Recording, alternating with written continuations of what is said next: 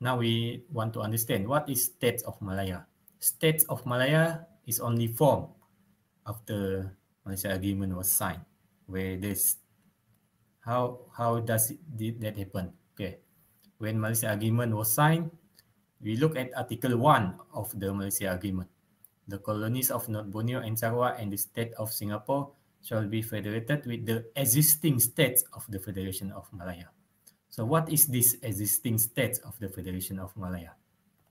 If we look at Article 1, Clause 2, Constitution of the Federation of Malaya 1957, the states of the Federation has been grouped there. The formerly non-Malay state, which is Johor, Kedah, Kelantan, Negeri Sembilan, Pahang, Perak, Perlis, Selangor, and Terengganu, and Malacca and Penang, is, which is uh, formerly known as the Settlement of Malacca and Penang. And the in the interpretation and general clause ordinance, states of the federation also have been defined there. It is a federation of Malaya 1957. So the existing state of the Federation of Malaya is Federation of Malaya 1957. So this is the exact words, huh? not just make up words. Now, when we form Malaysia, this state of the Federation of Malaya has become state of Malaya based on this Article 1, Clause 2 of Constitution of Federation of Malaya 1957 and Interpretation and General Clause Ordinance 1948. You look at the definition of states of the Federation. So you will you will understand that state of the Federation means state of Malaya. What is the difference between uh, definition of states of the Federation and states of Malaya. The difference in 1957, you see that there is two units in the state of the Federation, which is formerly known as Malay states and settle, settlements. At first, it was grouped like that. Johor, Kedah, Kelantan, Negeri Sembilan, Pahang, Perak, Perlis, Selangor, and Terengganu was grouped as the formerly Malay state. Malacca and Penang, it was formerly known as the settlement. So states of the federation was being grouped like that when the Federation of Malaya 1957 gained independence. You know, when Malaya gained Federation of Malaya gained independence in 1957, there, there are still strong reg regional, regionalistic feeling. They, they have state feeling is very strong. Some people from Kelantan still feeling like they are from Kelantan. From Negeri Sembilan, they want their identity as Negeri Sembilan is very strong. This is a regionalistic feeling instead in the Federation of Malaya, Malaya in 1957. So even in the constitution, it was still grouped like that. And then when Malaysia was formed, it becomes states of Malaya. What has changed is that all this group has been removed. All the state, 11 state of the Malaya have been uh, put in the alphabetical order. One, if they have been put in the alphabetical order. And second, all these uh, component unit of settlement and Malay state has been removed. So that they, they, they want to reduce the ill feeling between the regional state in the Federation of Malaya at that time. This is what happened when Malaysia Agreement 1950, 1963 was signed Federation of Malaya 1957, and then it became States of Malaya 1963. It is still the same identity, but the name has been changed. There is a reason where the name ha has been changed to States of Malaya instead of Federation of Malaya.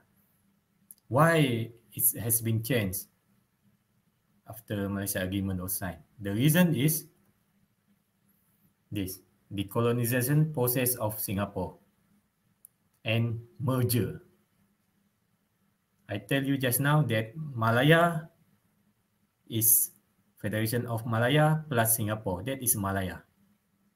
And the British, the British intention, the mistake that the British feel when they give independence to Federation of Malaya and they separate Singapore from Federation of Malaya, they feel responsible for that separation.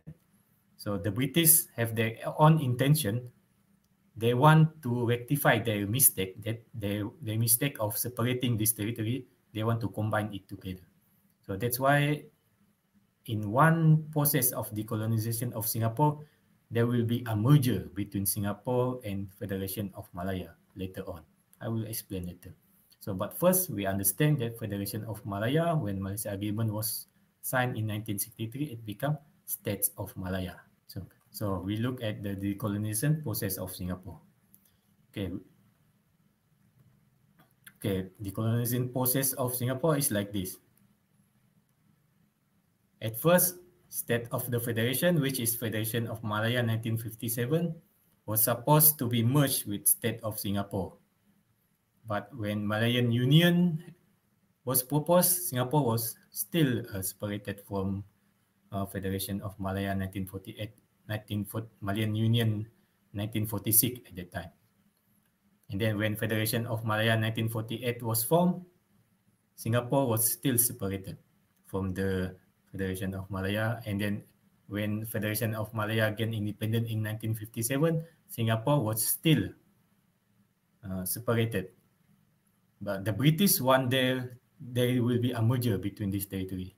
The intention of the British is they want there will be a merger because the British no, this is their mistake when they separate this territory. And then to Malaysia agreement, this state of the federation with its Federation of Malaya has been changed to States of Malaya. And then as uh, Article 1, Clause 2A and Clause uh, Article 1, Clause 2C, State of Singapore. Remember, when Singapore formed the, Feder the Federation of Malaysia in 1963, the purpose is to federate it with the states of Malaya and the Borneo state. And the most crucial thing that we must understand is it is for the merger between states of Malaya and Singapore. It was for the merger of the Federation of Malaya and Singapore. And then the British, the British just leave it like that. They doesn't change anything after that. Why? because we are under the UN Resolution 1541, which is a flexible decolonization process. We have many options to complete our independence. So when Article 1 of the Federal Constitution was originally written, it is for this purpose, for the decolonization process. And one of the one part of it is for the decolonization process of Singapore. So for the decoloniz decolonization process of Singapore, there is two way it will be happen, but it is up to state of Malaya and Singapore to decide. British will not decide for this one to complete the independence. British only form Malaysia as a flexible process for decolonization. So to gain independence, Singapore can either merge with state of Malaya, merger here, and then it will become Malaya. You know, the definition of Malaya is still there. In Singapore constitution is still there. It means Singapore and Malay Peninsula. It means Singapore and state of the federation. It means Singapore and Federation of Malaya 1957. That is what it's mean by Malaya. Maybe that's, this is the one route that Singapore can take when they want to complete the independent for by using a complete merger with state of Malaya. And then it form Malaya. Or they can choose another route with its state of Singapore, merge or combine into the states of Malaya and they complete their, their decolonization, decolonization process as one of the component states of Malaya. But how they are going to do that, we don't know. The British only left like that, and it's up to them how to decide. And then what happened is that Singapore separate from Malaysia.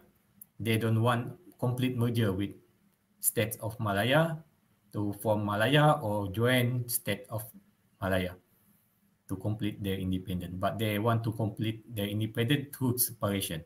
It is also can because the purpose of Malaysia, the purpose of Malaysia formation is for the for the decolonization process of Sabah, Sarawak, and Singapore. Malaysia was not formed because uh, Sabah and Sarawak and Singapore want to join Malaysia. That is not the purpose of the formation of Malaysia.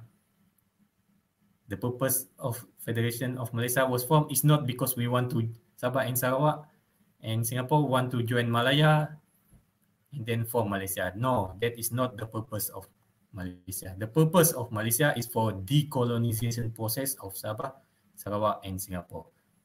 This is the purpose of Malaysia. That, that is why all the Article 1 was written like that. And I tell you about the decolonization process of Singapore here.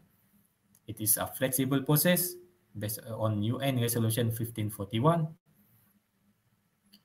So in the end, Singapore make a decision to complete their independent process to complete the decolonization, decolonization process through separation. And now they become state of Singapore since 1965.